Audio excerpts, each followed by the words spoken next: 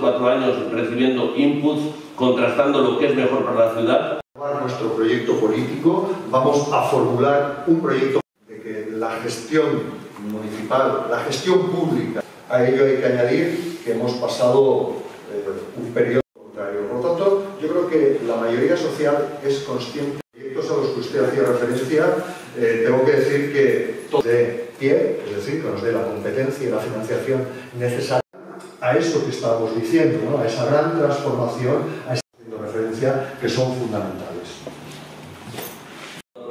Por tanto, yo creo que eh, venimos observando exacerbada y muchas veces irracional al proyecto. Hombres y mujeres que configuran la candidatura del Partido Socialista.